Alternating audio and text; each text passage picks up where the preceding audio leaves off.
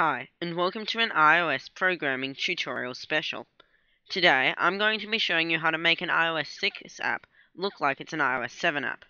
With all the hype about iOS 7, there is a fundamental issue. An app you design for iOS 7 isn't going to look very good on iOS 6, and there's no guarantee that a lot of people will upgrade to iOS 7.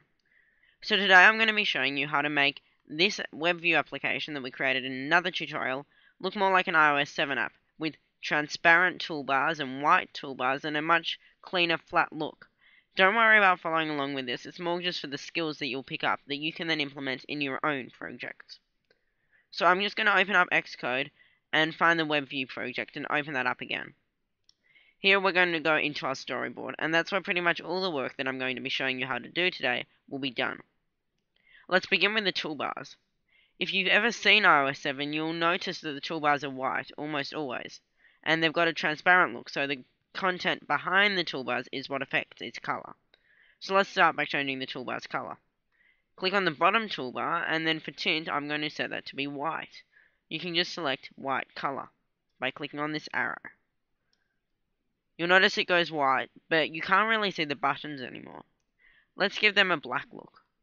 So, click on them, and you might need to click twice so to make sure the actual button is selected. And under tint, select a black color or dark text color. Do the same for the other button. You'll notice it is starting to look a lot nicer and if you run the application now it'll look a lot flatter and it'll look a lot more clean and streamlined. As you can see it does and there's this nice shadow and it really does look a bit like an iOS 7 application.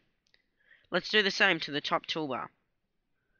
Set the color to be white and now you've got another problem, which is the go button.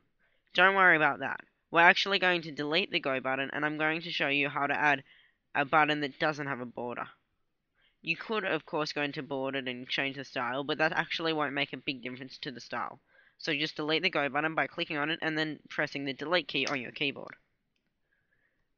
Now we can adjust this URL text field. Let's actually go into the bar button item in our hierarchy view Click on the arrow and select the actual text field. Let's fiddle around with the various border styles. Let's try the cleanest, simplest one first and see what that looks like. Okay, so that looks okay, but there's a few issues with borders and limits and everything. If we run the application now, let's see what it actually looks like in practice and whether it's just the XIB that's or the storyboard that's playing up. As you can see, it is. The actual toolbar still has this clean look, and it's just that the storyboard's having a few issues, uh, displaying this in a preview. This may happen, so always run your application if you think something looks a bit weird. Obviously, it's not so logical for that the app will just suddenly overlay text that you haven't created and do other weird things. So do run the applications in the simulator. So if I click on the enter URL here text, I can start typing, and it's a much more streamlined area. There's no borders and no reflections or different colors and things that users have to worry about. Let's now add in a Go button. To do this, we're going to begin by dragging in a button. I'm just going to put it on top of the web view for now so we can start editing it. Once it's in the toolbar, we won't be able to edit it. Let's go into the type under the button's properties and make it a custom button. That instantly gets rid of the border. Now let's try and keep a bit of that green color theme that we were sticking with originally. So select our recently used color, the green color. Of course you might have a black or another color. I'll show you how to do black as well by just going text color, black. I'll be showing you black in this tutorial even though our web views theme was a green color because it's probably more likely that you're using a black theme in your applications. It also gets rid of more of the gradient and makes it less visible, so it's a good color to use. Let's change the text of the button to be go, like it was before, and make it slightly smaller so that it fits in that gap between the text field and the edge of the screen. You'll notice the good thing about the fact that the storyboard is stuffing up a bit is that you can see where the edge of the storyboard, uh, where the edge of the text field rather is. Let's drag in the go button and you'll notice once you put it over the top of the toolbar, it will create a blue line, a vertical line with two circles on top and below so that you can see where it's going to be placed on the toolbar. So just drop it there and you'll see it will have been placed there. Once it's here, it's harder to edit. What you'll need to do is under bar button item, like we do with text field, click the arrow and then click on the actual button. Here we can change it a bit more. Let's change the font to a nicer looking font that looks a bit more iOS 70 again. So underneath font, click the little T button, select the font to be custom font, and then select for family is the actual name of the font. I'm going to do HTTC. Again, you'll notice that there's a bit of an issue with it, but don't worry about that. Leave the style as medium rather than a light style so that it's obvious to the user that it's a button. Apple makes a big deal of this with iOS 7 is defining the buttons and making them uh, individual from text. So if you've got a label, it probably doesn't have a bold font, but then you should have a button that does have a bold font, and keep that consistent throughout your project. Let's run the application again and see what it looks like now, and make sure that the button isn't creating a shadow in the application. Good. You can see that it doesn't. So I can click on the button, but you'll notice as soon as I click on it, it hides. And then I, when I let go, it appears again. So let's fix that up. Click on your button again, and then under the properties, for the state config, click on the default and change it to highlighted. Then change the highlighted title to go exclamation mark and the text color to black. All this is doing is saying that when the button is highlighted, which means it's being clicked on at that very moment, before what was happening was there was no text and any text that there was going to be was going to be white. But what we had when the button was not pressed was black text that said go exclamation mark. So we're just putting that back in so that the user doesn't have any problems with that effect. Let's run the application once again. Now what will happen is when the user presses go, nothing will happen to the button. It's not particularly clear that it's actually doing anything or that it's a button, so let's fix that up. Click on the button go again, make sure the state is still under highlighted, and we'll make it a dark grey colour instead. Let's also make sure we remember to hook up the button, because it will no longer be hooked up to the action because we deleted it at first. So right click on the view controller or control click depending on your Mac settings, and then underneath received actions, find the visit web page action we created or any actions that you've created for your application and drag it over the go button. Let's make it touch down. Or we can make it touch up inside. Let's make it touch up inside. Touch down will mean that when as soon as the button is clicked, the action activates. So as soon as the user even touches the button, it's going to load up the URL that we've entered. We don't want that. We want them to have to tap on the button and then let go. Then they can see that cool effect we added with a dark grey colour when they click on the go button. Let's see if that works. So let me zoom in so you can see it, and as you can see when I click on the button, it goes a dark grey. As soon as I let go, it goes back to black. So let's enter a URL and make sure it's still all working. So enter a URL and you'll notice that the text in the text field also looks nicer and more streamlined. We didn't actually have to do anything with the text. It was just the, the fact that we made the text look uh, the text box, we got rid of the border, so there was no reflections or anything distracting the view of the text. So it's looking pretty iOS 70 with a lot of cool effects and a nice streamlined effect. You'll notice there's a few issues though. Let me begin with the obvious one. The fact that the go button is a bit too high up uh, compared to the URL. Let's see if we can fix that. There's not necessarily going to be a fix. Start by going into your button dash go under bar button item and go into your alignment area. Let's make it a bit lower down. We can put do it like that, or we could use this one on the very right hand side with an arrow pointing up and down. That should center it. As you can see, it sort of does, but still not quite. Let's put it down lower and see what that looks like. You'll notice that that original bold text is still in the background, so you're going to have to just ignore that. That may be a nuance on my computer or it may be occurring for you. So we can try a few different settings for where the button should be located until you find one that you're fairly happy with. We can change the view scale to fill as well, and that might affect where it's positioned on the screen. There's a few other properties you can change under view and control. We could change the stretching as well, so let's see what happens if we stretch it a bit higher on the Y value by clicking the up arrow next to it. As you can see, it doesn't do anything, in practice anyway. Let's try making it 1, and then run the application and see if anything happens. As you can see, nothing does happen. Let's return it to 0. It's a good practice even if you don't notice anything noticeable when you change a property, change it back to what it was originally, in case later on it affects you and you can't find the issue. Let's leave it as it is now and we can come back to that later if we wanted to. Another thing we could try is an edge content and inset. That could work, and we could try adding an inset at the top. Let's do that. Until it's back over that bold original button, so you can barely see that there's two buttons there in the storyboard. Run the application again, and it should be centered. If it's not, just keep adjusting that uh, height value, and so let's do that one or two more times, because it's still a bit off. So again, underneath our button properties, underneath our edge and inset tab, make the top inset a bit higher. This will just push a few pixels down from the top, pretty much putting a spacer. If your button was too close to the bottom of the toolbar, you'd make the bottom value higher and the top value lower. Okay, that'll look good. So let's leave that and we won't try running it again. It should be fine. Let's do one more thing now. You'll notice in our application that although the toolbars do have that white look and they do look very iOS 70, there's no alpha value. It's not transparent. So there's a few workarounds for this. The first is to write a lot of code that will become very messy and you'd have to do it for every toolbar. So we won't do that.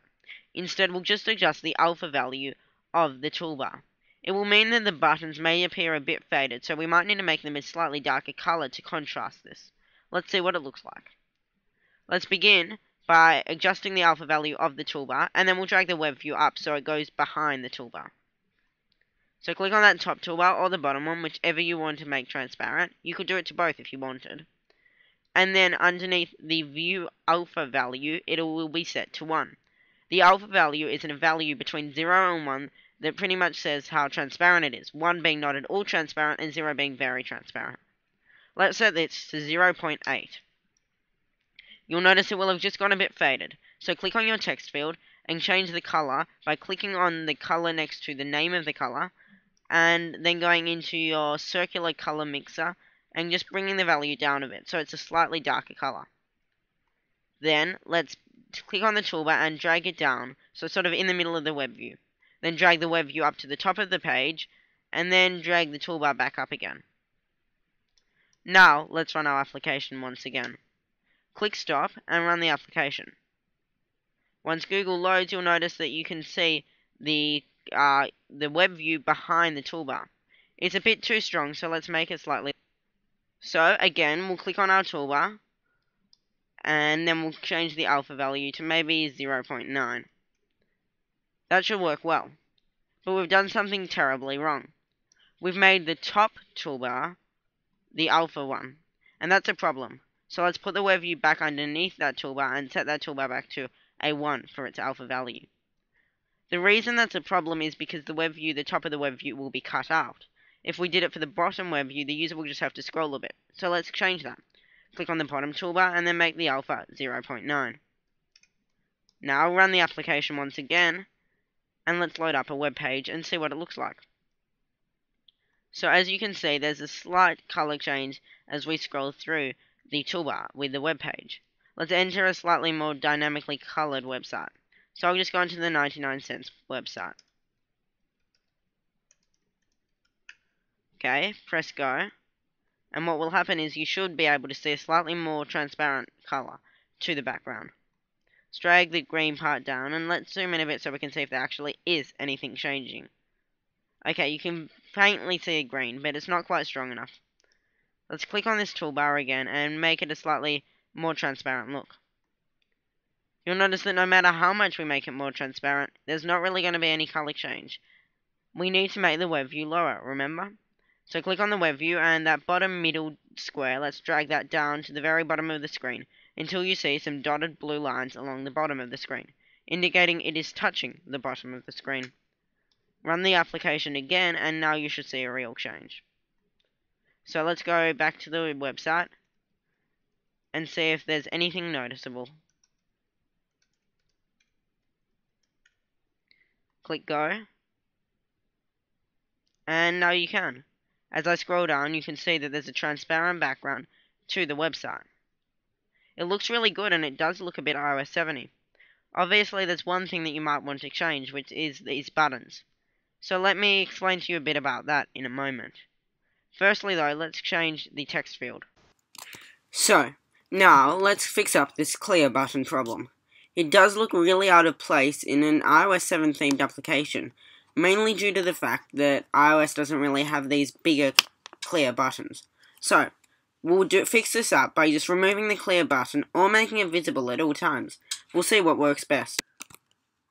So, back in Xcode, click on your text field in the hierarchy view to make sure your actual text field is selected, and under text field, under clear button, get rid of appears while editing and select never appears. Make sure clear when editing begins is selected. Run the application now and what you'll notice is, if I enter a URL, so let me do that quickly. I'll just do Google again. And press go, the clear button did not appear. So that's a bit annoying then you'd be thinking when you go back into the URL bar and want to enter a new URL. Well, no, because when I go back into the URL bar, it automatically clears because we selected clear when editing begins. So that fixes that problem up. The one other thing you probably want to do is make these back and forward buttons not look so iOS 60. They still have a gradient look, and they've got a border around them. So there's a couple of workarounds for this. Let's try the first and most obvious one. Let's just import an image of a back button and an image of a forward button. So go add files and I'm just going to find some icons under downloads uh, and then underneath, uh, sorry, under desktop and I can find a back button. The other option is, is to create our own back button from text. That's probably easier seeing that you may not have rights to images, you may not be able to get a designer to design images, or you may not yourself be able to design an image. So, we're going to delete both these buttons we've created. Click on each and press delete. Keep that space though, because we'll need it later on, so we may as well leave it there. Then drag in an ordinary button, and I'm just going to place it in the middle of the screen so I can fiddle around with it a bit. Let's begin by under type selecting a custom button to get rid of the border obviously and then we'll change the text color to a black color once again. Or you can change it to a dark text color. I'm going to select a black color because our toolbar is transparent, so we really want it to stand out and not look transparent. After all, the buttons in iOS 7 still aren't too transparent. Again, I'm going to change the font to HTTC, a font that looks a lot like an iOS 7 sort of font, and keep it as medium so we've got that consistent look throughout the application. Now, the for the text of the button, I'm going to do a back arrow. That's just a square, bra uh, triangular bracket, sorry, and you can do that by pressing Shift and then the comma key on a Mac. That creates a button that does look quite a lot like a back button. We might want to make it a bit bigger, obviously, so next to this T button, there's two arrows. Click on the up arrow a few times until it's of an adequate size. Remember, it needs to fit inside the toolbar, so you don't want the button to be too big. The other option we have is to insert a special character, like an emoji icon. To do this, double click on the existing text, then go into Edit in the Xcode menu at the top of your screen. You can't see that on my screen, but you'll see there's an Apple logo, Xcode file, Edit, View, Navigate, and so on. Select Edit, and then select Special Characters. You can also use Alt Command T as a keyboard shortcut to access this. You can then find a back button, so you could look for back, but you're unlikely to find anything there. We could do arrows and hands and all of that, but that doesn't really look any better than what it would uh, if we just used ordinary buttons. But it is a creative way to use emoji icons in your application, so do consider it. Let's just look for arrows. So here I've got some arrows open just by clicking on arrows, and I can scroll through until I find one that I like. It's a good way to find icons that are free and uncopyrighted.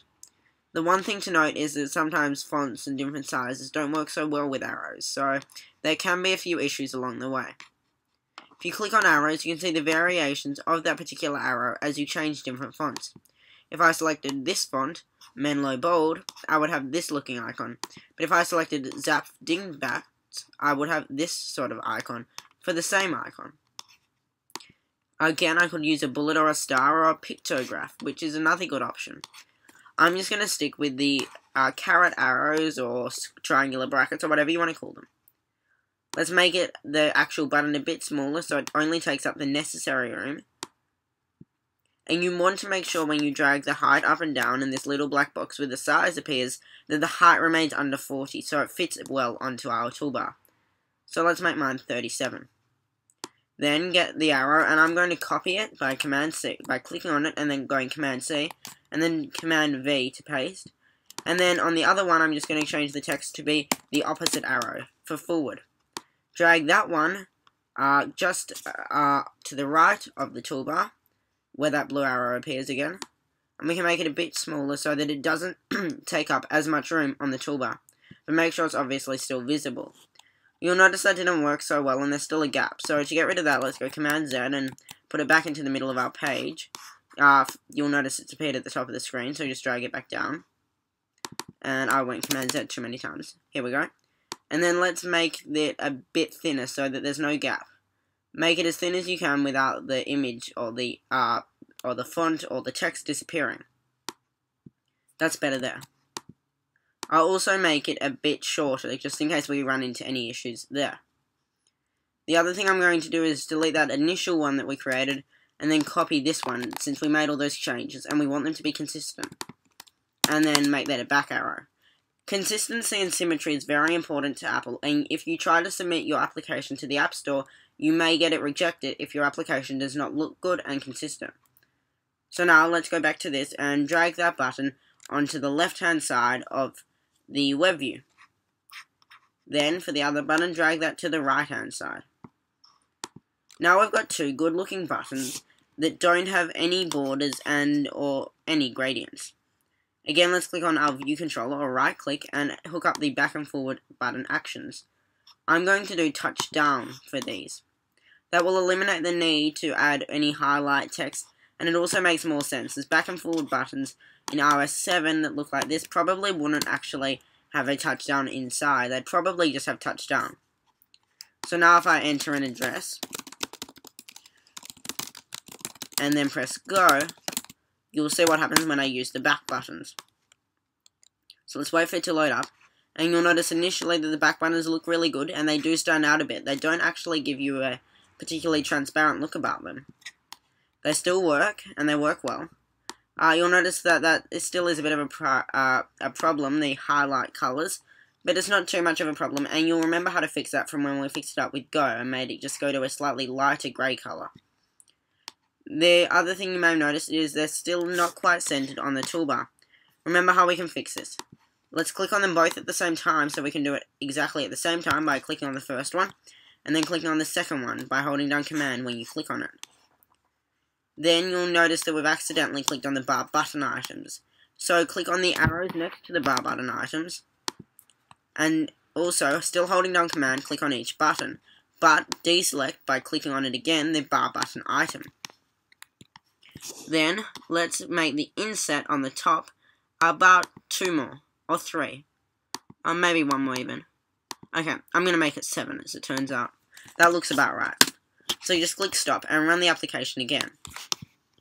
So now it looks really centered and really good. So we've created what was a fairly ugly green uh, gradient looking application that really looked like iOS 6 or even before iOS 6 and we've made it look like a real iOS 7 application. Looks really clean and really nice and I hope that you think that too. Hopefully you've learned something from this video and you found it to be helpful in your own projects.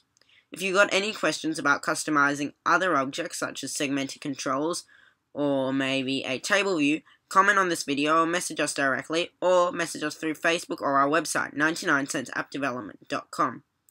I hope you've enjoyed this video and if you have, be sure to like and subscribe.